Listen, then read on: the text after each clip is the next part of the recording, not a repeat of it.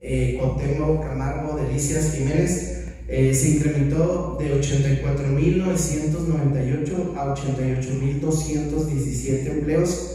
En un solo mes hubo un incremento de 9.22% en cuanto a generación de empleo.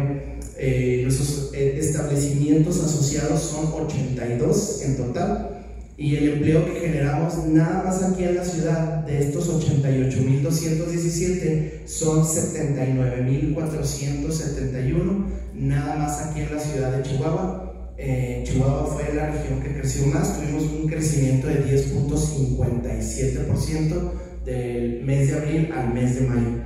Entonces, pues son buenas noticias, eh, se sigue viendo de alguna manera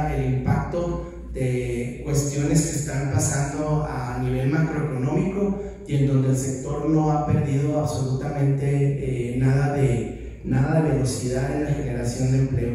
La rotación, obviamente como parte de todas estas oportunidades, sí está creciendo un poquito, del 4.7 a 5.4 y el ausentismo permanece estable en 5.5%. Entonces, esos son los datos a nivel índice.